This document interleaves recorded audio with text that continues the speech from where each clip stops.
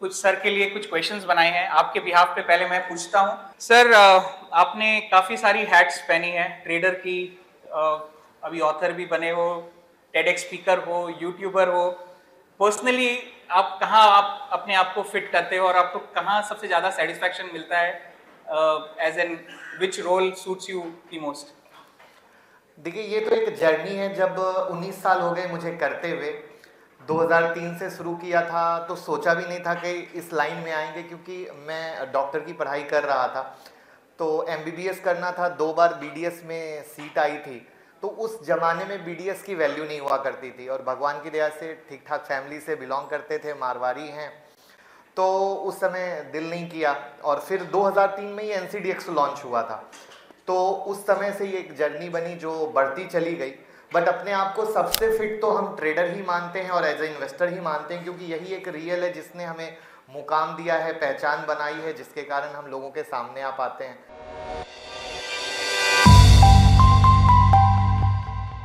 और आपकी जर्नी कहाँ से शुरू कब आपको लगा कि आपको ट्रेडिंग में इंटरेस्ट आने लगा है या कब आपको लगा डिसाइडिंग कुछ ऐसे आपके साथ मोमेंट हुआ या बिल्कुल, मेरे साथ बहुत ही यूनिक चीज़ हुई जो मोस्टली जो यंगस्टर हैं उनके साथ तो वो सबसे ज़्यादा रिलेट कर सकते हैं कि जैसे मैं पढ़ाई कर रहा था तो जैसा मैंने बताया कि दो बार बीडीएस की सीट आई।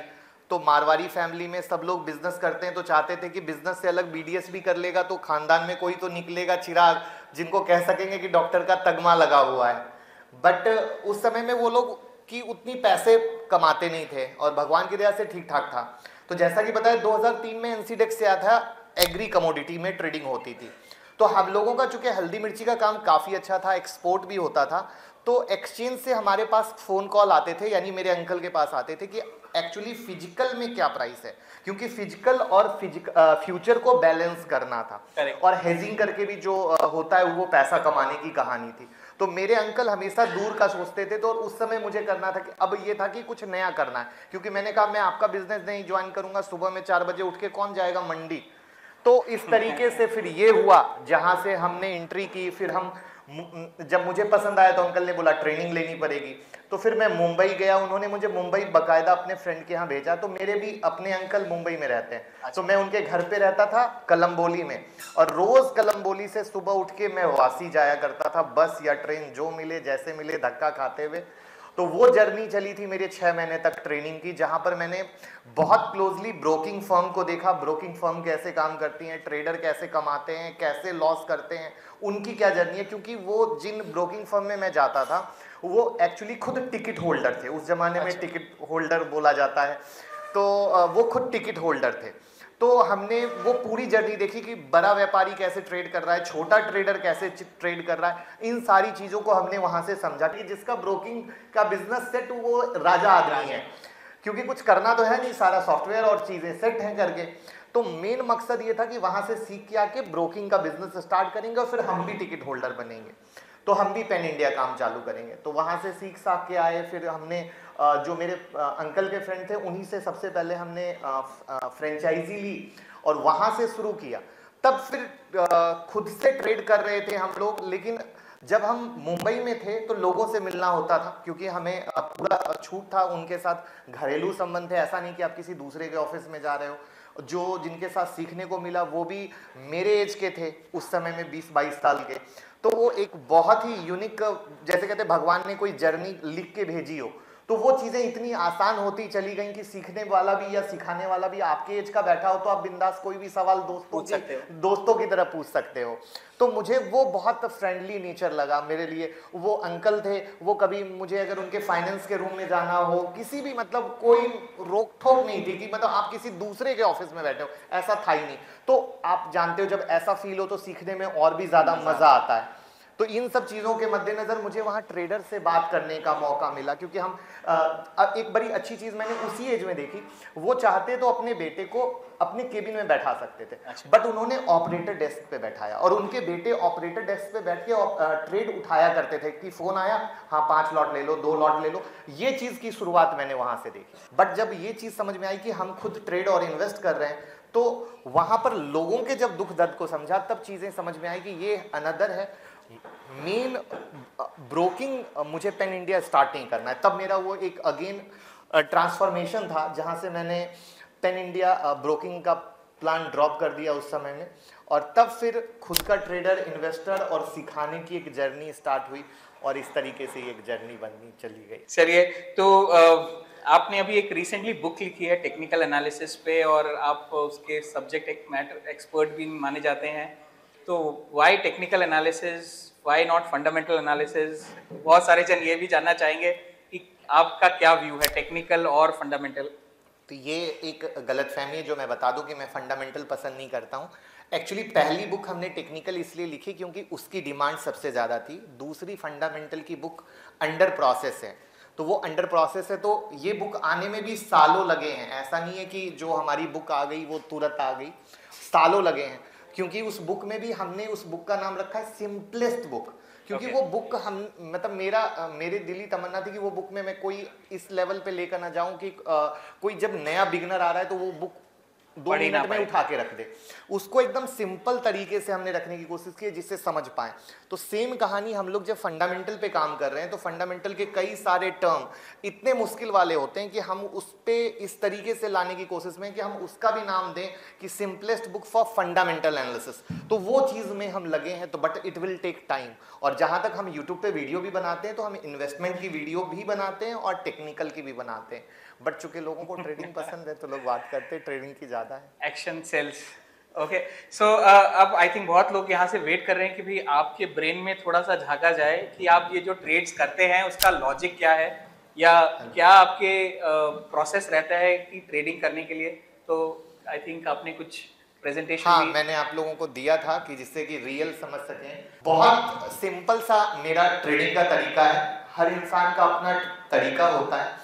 तो तरीका बताने से पहले मैं एक चीज़ ऐड ऑन करना चाहूँगा, जो मैंने अपने 19 साल के कैरियर में फील की है कि जैसे जब भी कोई नए लोग आते हैं तो कहीं पर कुछ स्ट्रेटजी को देखा, सुना, चार दिन, पाँच दिन, दस दिन या एक महीना यूज़ किया, फिर पैसा बना तो वेरी गुड नहीं बना तो वो क्विकली किसी दूसरे पर चले जाते हैं। इसमें सिर्फ़ वक्त भी बर्बाद होता है और पैसा भी बर्बाद होता है। उसकी जगह जो मेरा नज़रिया या जो मैंने सीखा है कि सबसे पहले चीज़ों को बहुत डिटेल में समझें, उन चीज़ों को फॉलो करें और उस पर टाइम दें, ना कि आप हर एक दिन नई स्ट्रेटजी बनाएँ, उसमें वक्त और पैसा बर्बाद होगा। तो वहाँ पे एक ब्रूसली की लाइन है जो मुझे पसंद है कि एक ही किक मारो, लेकिन उस पर एक हज़ार बार प्रैक्टिस करो, ना कि एक हज़ार तरह की किक मारो। तो सेम स्टोरी की जैसे मेरी ट्रेडिंग का फंडा बहुत सिंपल है कि जैसे जब मार्केट रात में बंद हो रहा है, यानी साढ़े तीन बजे के बाद बंद हो रहा है तो मार्केट कहीं ना कहीं कोई ना कोई स्टॉक किसी न किसी सपोर्ट या किसी न किसी रेसिस्टेंस पर बंद हो रहा है, यानी डिमांड सप्लाई जोन के पास कहीं ना कहीं कोई स्टॉक मतलब ज़रूरी नहीं कि सारा stock that's called stock selection तो स्टॉक सिलेक्शन के पार्ट में कोई ना कोई स्टॉक आपको डिमांड या सप्लाई जोन के आसपास आके दिखेगा। जब वो डिमांड या सप्लाई जोन के आसपास आता है तो मैं एक चीज़ हमेशा यूट्यूब पे बोलता हूँ कि जो सबसे बड़ा एजुकेशन है लोगों के बीच, उनको ये लगता है कि जब कोई स्टॉक सपोर्ट के पास आ रहा है तो इसका मतलब है कि सिर्फ़ बाय करना है और रेसिस्टेंस के पास आ रहा है तो उनको लगता है कि सेल करना है, जो कि सबसे बड़ी गलती है। अगर ऐसा होता तो ज़िंदगी भर कोई स्टॉक एक रेंज में ही चलता रहता, ना सपोर्ट से बाहर आ पाता, ना रेसिस्टेंस से बाहर आ पाता। और आप ही लोग कहते यार ये तो सबसे वाहियात स्टॉक है, ये तो चलता ही नहीं। है तो इसका अर्थ क्या है कि अगर वो सपोर्ट पे आ रहा है तो शायद बाय भी दे सकता है, और अगर सपोर्ट टूट गया तो वहाँ से सेल भी दे सकता है। सेम कहानी रेसिस्टेंस के साथ होती है कि अगर कोई स्टॉक रेसिस्टेंस के पास आ रहा है तो वहाँ से सेल भी दे सकता है और बाय भी दे सकता है। दिस इज़ द रीजन मैं कभी भी मार्केट इस तरह के किसी लेवल पे आता है तो मैं हमेशा कहता हूँ कि वो एक मेक और ब्रेक लेवल है। तो वहीं पर मैंने ये कोई ये जो आप लोगों के लिए किया है, ये लेटेस्ट 6 अप्रैल का चार्ट है इंडिगो का, जिससे सबसे अच्छा आसान रहेगा कि जब आप इसकी फ़ोटो ले रहे हो और घर जाके देखोगे तो आपको प्रैक्टिस करना भी आसान रहेगा और सब कुछ लेटेस्ट मैच कर पाओगे। जहाँ पर मार्केट में एक टॉप लगा, उसके बाद गिरा, मार्केट अपने हिसाब से साइडवेज जो भी करना था, करता रहा और वापस से दूसरे इसी टॉप के पास आया। और ये लेवल है 1940 का। यानी 1940 का जो रेसिस्टेंस है, वहाँ पर मार्केट आया है। अब यहाँ ये एक एग्जांपल के लिए साढ़े तीन बजे बजा है मार्केट बंद हो गया है। आप अपने जॉब या बिज़नेस से घर वापस आए हो, रात में जब भी फ्री हो, आपने स्टॉक सेलेक्ट करके इसका लेवल निकाला। अब नेक्स्ट कहानी होती कि मुझे ट्रेड करना है, यानी कल मार्केट खुल रहा है। अब इस 1940 पे क्या हो सकता है, जिसके आधार पर हम ये डिसीज़न लेंगे कि हमें बाय करना है या सेल करना है। तो अब यहाँ पर हम जब बाय या सेल का डिसीज़न लेते हैं तो हम यहाँ पाँच मिनट के चार्ट में गए हैं लाइव मार्केट में, जहाँ पर आपको इस जगह पे डाइवर्जेंस मिला है और इस डाइवर्जेंस पे कैंडल भी सेल वाली मिली है। तो ये सारी चीज़ें एक साथ मिलकर आपको उस पाँच मिनट के चार्ट में लाइव ट्रेडिंग की अपॉर्चुनिटी देती है। जिस लाइव ट्रेडिंग की अपॉर्चुनिटी पे जब इस कैंडल का लो ब्रेक होता है तब आप सेल करते हो। तो दैट्स द बिग रीजन वहाँ पे हमने स्टॉप लॉस 1941 लिखा है। यहाँ सेल हुआ 1927 पे, क्योंकि यहाँ के नीचे वो लो जाने के बाद सेल हुआ है और 1903 पर हमने एग्जिट किया है। तो इस तरीके से ये ट्रेड का डिसीज़न होता है, जिसमें जैसे एक एग्जांपल मैंने कैंडल के साथ भी दिखाया और डाइवर्जेंस के साथ भी दिखाया। ऐसे ही दूसरा है बोरोसिल रिन्यूएबल्स का, जहाँ पे मार्केट में एक लो लगा था। फिर जहाँ से तेज़ी हुई सेम टू सेम मार्केट अपना साइडवेज जो भी करना था, करता रहा। उसके बाद मार्केट वापस से वो लो लगाया था, जहाँ से थोड़ा ऊपर गया। यानी दो नीचे के सपोर्ट थे जो टूटा। और टूटने के बाद वापस से आ रहा है। तो ये चीज़ें जो सपोर्ट थी रेसिस्टेंस में बदल गई और रेसिस्टेंस होने के बाद मार्केट भागा है। तो अब ये जब आप रात में देखते हो तो आप पाते हो कि ये जो लेवल है 432 का वहाँ पे अगर नेक्स्ट डे मुझे कुछ दिखता है तो मैं ट्रेड कर सकता हूँ। तो वहाँ पर 432 में जब आप लाइव मार्केट ओपन करते हो नेक्स्ट डे ट्रेड करने के लिए तो यहाँ पर पाते हो इसका जो ओपन इक्वल टू लो है, वो ऑलमोस्ट सेम है। तो वो आपको अगेन एक कंफर्मेशन की तरह दे रहा है। यहाँ पर मैं अगेन एड ऑन करना चाहूँगा। ये ट्रेड हमने ना सिर्फ़ कैंडल देख के लिया ये ट्रेड ना सिर्फ़ हमने ओपन इक्वल टू लो देख कर लिया, ये ट्रेड जो मैंने पहले वाला दिखाया, ना सिर्फ़ डाइवर्जेंस देख के लिया। हमारे लिए सबसे पहली जो क्राइटेरिया थी, वो सबसे पहली क्राइटेरिया थी कि वहाँ पर सपोर्ट रेसिस्टेंस अवेलेबल था और यही वो रीजन है कि जब आप इस तरीके से ट्रेड पकड़ते हो तो जो मैं यूट्यूब पे हमेशा कहता हूँ कि आप जब ट्रेड पकड़ते हो, घंटे दो घंटे में कमाओ, घर जाओ, दिन भर बच्चों की तरह देखने की ज़रूरत नहीं है। ये उसका रीजन है। वहाँ पर वो मार्केट एक ट्रेंड देता है, एक चाल देता है, और उस चाल में पैसा कमाते हो। और वहीं पर अगर आप दिन भर लगे रहते हो ना, एक में कमाया, फिर दूसरे ने गंवा दिया, और शाम तक वो हिसाब किताब इतना चलता रहता है कि जब आप साढ़े तीन बजे मार्केट बंद करते हो तो नुकसान हो जाता है। आप प्लीज़ आई विल रिक्वेस्ट कि आप ट्राई करके देखो, जितनी भी गलतियाँ हैं उसको नोट करके देखो कि कहाँ कहाँ नुकसान क्यों हो रहा है तो वो आपको बहुत हेल्प करेगा। खुद की ट्रेडिंग पैटर्न में मार्केट के ट्रेडिंग पैटर्न को समझने में कि मैं क्या गलती कर रहा हूँ, मुझे क्या गलती नहीं करना चाहिए। उसके बाद टाटा मोटर का चार्ट है। मैं फिर से बोलना चाहूँगा, ये जितने भी आप यहाँ पे देख रहे हो ना, ये सारे 6 अप्रैल के हैं। मतलब सारा लेटेस्ट है। कोई हिस्ट्री का नहीं है कि हिस्ट्री में ऐसा हुआ है, जिससे कि आप मंडे से जब स्टार्ट करो तो अगर इस चीज़ को यूज़ करोगे तो ये आपको सच में हेल्प करेगा। अगेन उसी तरीके से यहाँ पे 425 का मेक और ब्रेक था। अब हम इसमें देखते हैं नेक्स्ट पेज में एंट्री कैसे मिली। तो आप यहाँ पर एक इंडिकेटर है विलियम परसेंटेज आर जहाँ पर जब इसके ऊपर से गया और मार्केट इसके 40 के लेवल से ऊपर गया तो वहाँ से कंफर्मेशन मिला। यानी मैं आपको ये दिखाने की कोशिश कर रहा हूँ कि कंफर्मेशन के कई तरीके होते हैं जहाँ से पैसा बनता है। बट इंसान का सबसे ज़्यादा गलती ये होता है कि अगर वो सिर्फ़ सपोर्ट रेसिस्टेंस पे ट्रेड कर रहा है तो भी पीटेगा। अगर सिर्फ़ कैंडल या किसी इंडिकेटर पे ट्रेड कर रहा है तो भी पीटेगा। दैट मीन्स कि हमने कंप्लीट ट्रेडिंग स्ट्रेटजी बनाई कि आखिर किन किन एलिमेंट को हमें अपने ट्रेडिंग में ऐड करना है। और ये चीज़ें सब जगह होंगी ही नहीं। अगेन जब आप मंडे से प्रैक्टिस करोगे, चीज़ों को देखोगे तो ये आपको सब जगह दिखेंगी ही नहीं। वो सिर्फ़ कहीं कहीं दिखेंगे। दैट्स कॉल्ड ट्रेडिंग यानी सेलेक्टेड ट्रेडिंग जो आप लोग परेशान रहते हो कि सेलेक्टेड ट्रेड हम कैसे करें। तो ये वो सिलेक्टेड ट्रेडिंग का तरीका है, जिसे करो। और बहुत ज़्यादा एनालिसिस तो भैया पैरालिसिस में बदल ही जाती है तो उतना करने की ज़रूरत बिल्कुल नहीं है। एक आपने बात की कि आप अपनी गलतियों को नोट करो।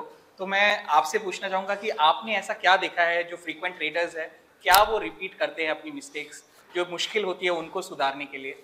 एक तो सबसे ज़्यादा वो मुझे लगता है रिवेंज ट्रेडिंग बहुत ज़्यादा करते हैं। रिवेंज ट्रेडिंग का सेंस ये है कि एग्जांपल के लिए हमने सवा नौ बजे ट्रेड स्टार्ट किया, नुकसान हो गया तो वापस से सेम डे ही पता नहीं क्यों उस नुकसान को कवर करने की कोशिश करते हैं। ऐसा कुछ नहीं होता है और मार्केट में टिप्स भी शायद कुछ लॉस रिकवरी टिप्स के नाम से दी जाती है बट इसकी कोई गारंटी नहीं होती कि लॉस रिकवरी होगी। वो डबल आपका नुकसान होता है। मार्केट का ट्रेंड आपने जब पहला ट्रेड किया, आपने अपनी स्टडी के साथ किया, अपनी सोच के साथ किया, अपनी समझ के साथ किया, सबसे पहले तो समझना ये ज़रूरी है कि जो आप किसी के टिप्स पे, किसी के बताए हुए पे ट्रेड कर रहे हो, वो अगर आप करोगे तो ज़िंदगी में कभी नहीं कमा पाओगे। इस बात को तो आप रिकॉर्ड करके रख लो, कभी ज़िंदगी में नहीं कमा पाओगे। चाहे वो मैं रहूँ, चाहे मैं ही बताने वाला हूँ तो भी नहीं कमा पाओगे। ये तो मैं आपको ऑन रिकॉर्ड बोल रहा हूँ। आपके पास खुद की समझ होनी ज़रूरी है। तो आपको सबसे ज़्यादा तो शुरुआत यही करनी है गलती में कि एक तो रिवेंज ट्रेडिंग तो बंद कीजिए टिप्स पे ट्रेडिंग बंद कीजिए, क्योंकि आप सबको पता है, सेबी का डेटा क्या आया दस में नौ लोग लॉस में।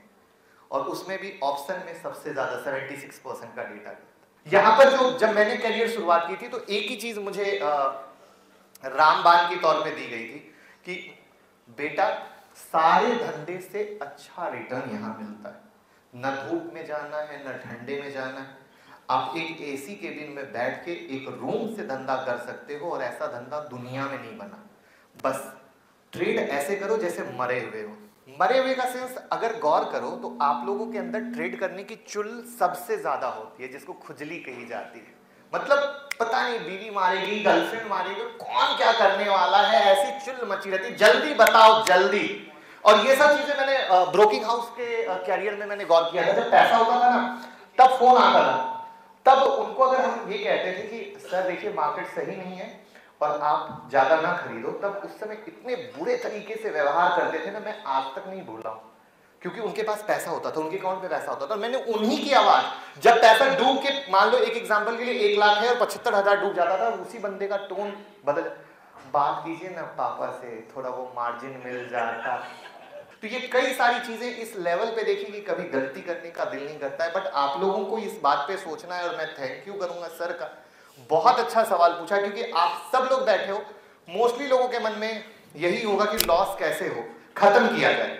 लॉस खत्म करने का तरीका सिर्फ़ आप ही के हाथ में है। उसमें से टिप्स को टाटा बाय बाय कर दीजिए। ये तो मुझे सबसे पहला लगता है। दूसरा रिवेंज ट्रेडिंग बंद कर दीजिए। जिस दिन मिल रहा है, कीजिए। जिस दिन नहीं मिल रहा है, नहीं कीजिए। एक अच्छा एक चीज़ और बताऊँ, इस बात में एड ऑन करूँगा। आप दस ट्रेड करते हो, कभी सही दस का दस ट्रेड नहीं होगा। आप दस ट्रेड करते हो, ये सोच के चलो, छह ट्रेड भी सही है तो भी आप फाइनल प्रॉफिट मुनाफे में रहेगा। कैसे? Risk reward ratio but problem क्या है? रिस्क रिवॉर्ड रेशियो तो कभी सही नहीं होता है। अब आप कहोगे, ये कैसे? अब एक चीज़ आप लोग ईमानदारी से बताना। मैक्सिमम लोग ऐसे होंगे जो मार्केट में आए होंगे एज अ ट्रेडर जब पोजीशन फंस जाती है तो बन जाते हैं इन्वेस्टर तो कैसे रिटर्न मिलेगा? हाँ? और उस कंडीशन में जो मुझे पर्सनली सबसे ज़्यादा बुरा लगता है कि मेरे धंधे को कोई बुरा कहता है, मेरा धंधा यानी मुझे स्टॉक मार्केट मेरा धंधा लगता है। कि स्टॉक मार्केट कभी बुरा धंधा है ही नहीं। बुरा हमने खुद से कर लिया, अपने लालच से कर लिया। तो ये कंट्रोल कौन, कोई बुक तो कभी सिखा ही नहीं सकती कि लालच कंट्रोल करना। अब आई थिंक जितनी बातें मैंने बोली, इस बात में निगेटिव के साथ मैंने पॉजिटिव भी बोला। पॉजिटिव ये बोला कि इससे अच्छा धंधा कुछ बना ही नहीं है। मेरे को इस मार्केट में अट्रैक्ट होने का मैं अपनी स्टार्टिंग जर्नी बताता हूँ। जब जो मैंने आपके साथ उस समय शॉर्ट में शेयर की, उसमें दो चार पॉइंट ऐड करता हूँ कि जैसे मेरे को अंकल ने बोला, देख बेटा ये काम है तुझे? क्योंकि कई सारे काम के ऑप्शन मेरे पास आ रहे थे कि तू क्या कर सकता है? फैक्ट्री डालना है, क्या करना है? तेरे मन के अंदर कुछ कीड़ा पल रहा है तो तू बता दे। तो उसमें मेरे को बोला गया कि आप ये देखो। तो उस समय आई डोंट नो आप लोगों ने कभी एमसीएक्स देखा है कि नहीं देखा है? उस समय एमसीएक्स यानी गोल्ड सिल्वर जिसमें ट्रेडिंग होती है, दिन भर कोई मूवमेंट नहीं हुआ करती थी। जब अमेरिकी मार्केट खुलता था ना, तब उस समय गोल्ड में पचास रुपये क्रूड में 10 से 20 रुपये और सिल्वर में डेढ़ सौ से 200 रुपए की मूवमेंट हुआ करती थी। और सिर्फ़ यही तीन आइटम था जिसमें ट्रेडिंग ढंग से होती थी। उसमें भी गोल्ड सिल्वर में थोड़ी ढंग से होती थी क्रूड वो भी मरा हुआ प्राणी था। मैं आपको इतना पुराना ले जाके बता रहा हूँ। बट मुझे मज़ा क्या आया? हम ऑफ़िस में बैठे हैं। कोई मना करने वाला नहीं। हम खुद के बॉस हैं। हम खुद से डिसीज़न ले सकते हैं। अगर हम सोच समझ से क्योंकि पढ़ा लिखा तो बच्चा था जो इंसान डॉक्टरी की पढ़ाई कर रहा है उसकी समझ आप समझ सकते हो। जिसका विजन क्लियर कि भैया करूँ तो यही करूँ वरना ना करूँ। तो अनाड़ी तो हो ही नहीं सकता। तो विजन क्लियर सोच क्लियर माँ बाप की मेहनत को शुरू दिन से देखा। तो इतनी समझ में आ गई कि धंधा ये बेस्ट है। आपको इससे अच्छा धंधा नहीं मिल सकता। मेरे फादर जितना कमा रहे हैं, उससे ज़्यादा मैं इस धंधे से कमा सकता हूँ। और भगवान की दया से कमा के भी दिखा दिया उनको। तो ये चीज़ भी एक चीज़ है। तो ये सारी सोच से बेहतर तो धंधा है ही नहीं। बट वही है कि बंदूक को यूज़ कैसे करना है? है ना बस वही चीज है स्टॉक मार्केट भी बिल्कुल उसी तरीके से है